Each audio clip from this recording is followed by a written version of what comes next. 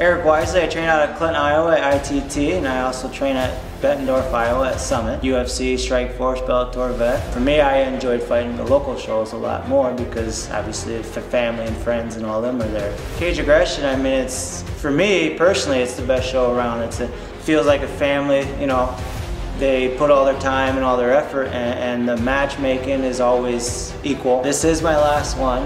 Uh, when I say I retire, I'm retired. I always listen to the commentating off the Caged Aggression show and they always like who's going to beat Wisely. And I think Kenny Robertson has the skills to do it and it's me not letting him and allowing him to do anything that he's trying to, to, to put on me. Kenny Robertson, I'm from uh, Central Illinois, whether you want to say Spring Bay or Metamora or Woodford County, three-time national qualifier, fought in the UFC nine times. Bellator gave me a call, I fought for them.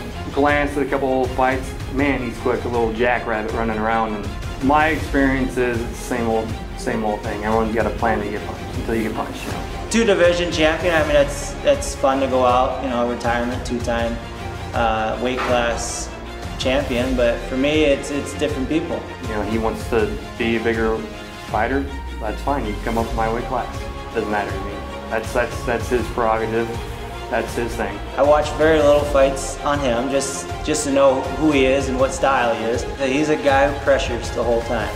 He's a guy who's trying to clinch and take me down. He's gonna want to rip my head off. I'm gonna want to rip his head off. So he's been to where I've been. It's always been a chess match match to me. I know he'll be ready, and I'll definitely be ready. I think he knows already. We're gonna we're gonna get after it. What what better fight can you ask for?